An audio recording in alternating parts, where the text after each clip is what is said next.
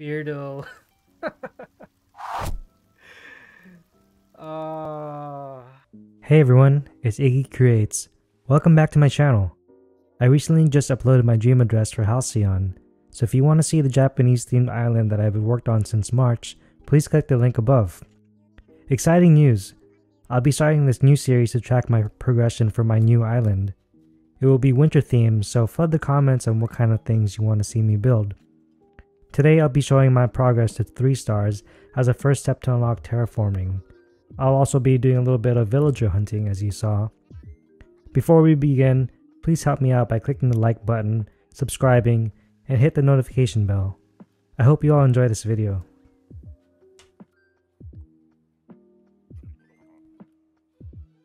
The first time I played Animal Crossing, I didn't pay too much attention to the villagers, which I really regret.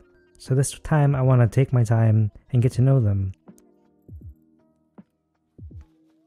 I started off by getting a plot, and I remember the first time I played Animal Crossing, I accidentally bought all the plots, so all the villagers just moved in. While I was live streaming, I was also trying to guess the names of the villagers, and as you guys saw, I had no idea what their names were. Shout out to Richard though. I know him how much he likes Chow.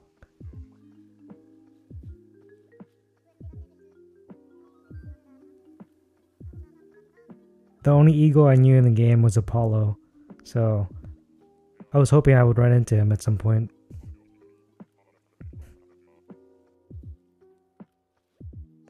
This penguin was pretty cute, but my favorite is still Tex.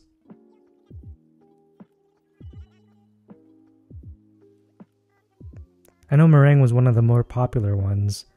I didn't want to go for the popular ones this time, and instead I wanted to go for the ones that people dislike. I don't like koalas at all, so I kind of just skipped over this one.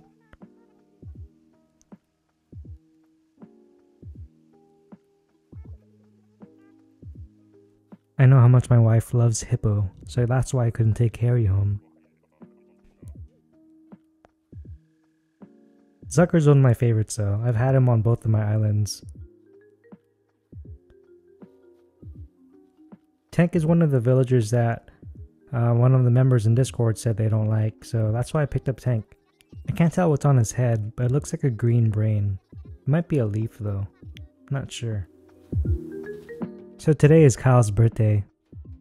The first couple times I play Animal Crossing, I didn't really go to anyone's birthday, which was kinda sad.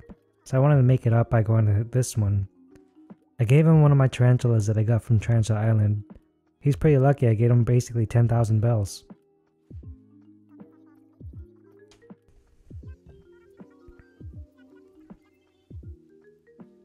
Here's Apollo. I was pretty happy I ran into him.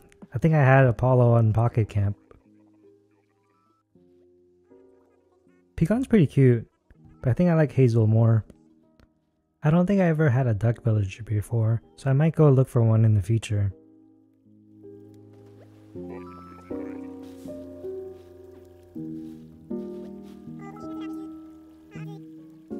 I ran into Maple, and I know she's one of the other popular ones. I actually ran into Apollo twice today. Maybe I should have just taken him home with me. Anyways, this is the Bells Island. First time I came to this island, I didn't even know how to get to the middle.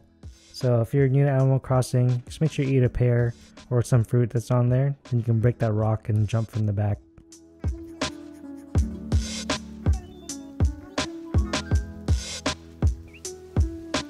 Oh yeah, I didn't even talk to the anteater. Not a fan of them. I wanted to take Scoot home. I guess like the helmet that he's wearing. I like Margie, but I like Tia's design way more. So yeah, that's when I ran into Beardo. Beardo looks like Dr. Phil to me, and uh, it's pretty, uh, not the best looking villager. That's why I decided to go for him.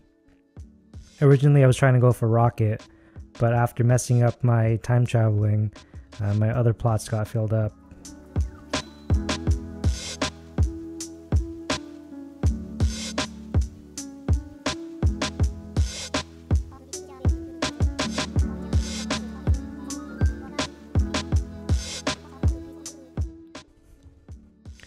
So once I got all my villagers, I knew that I had to place a lot of furniture outside and plant a lot of flowers to get the three stars. So that's why I got a bunch of blue roses and street lamps. Didn't take too long, and then just had to check with Isabelle next day and she announced that KK Slider would be in town. So we got the job done. It would be cool if KK Slider could play some lo-fi music in the game, but I do like his acoustic music. So all in all, that took me about two days, a couple hours per each day to get there. Finally unlocked terraforming. But there was one more thing I needed to do. If you've been following me for a while on YouTube, you know that this is not what I look like. So I finally unlocked the hairstyles and got my clothes back, and now I'm me.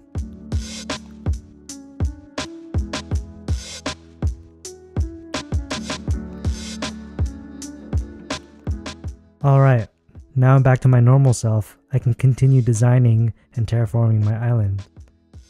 In my next video, I'll be working on my entrance and hope you guys like it. Sorry for the horrible commentary. I'm kind of just trying this on the fly. But I'll see you guys next time. Take care.